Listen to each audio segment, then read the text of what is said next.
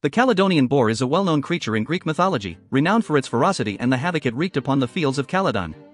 But who was responsible for sending this monstrous beast to terrorize the kingdom? According to the ancient texts, it was none other than the goddess Artemis, also known as Diana in Roman mythology, who was responsible for sending the Calydonian boar to Calydon. The reason behind her decision to unleash such a formidable creature upon the land was the result of the king of Calydon's blatant disrespect for her. Artemis was a revered deity in ancient Greece, often associated with chastity, hunting, and the wilderness. She was also known for her fierce and vengeful nature when it came to those who dared to cross her or show her disrespect.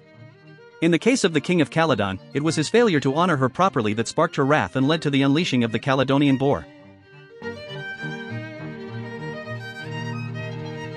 The details of the king's disrespectful actions towards Artemis are not explicitly mentioned in the ancient texts, but it is clear that they were severe enough to provoke such a strong reaction from the goddess. As a result, Artemis decided to teach the king and the people of Calydon a lesson by sending the monstrous boar to ravage their fields and bring chaos and destruction to their land. The Calydonian boar was a formidable and fearsome creature, known for its massive size, sharp tusks, and ferocious temperament.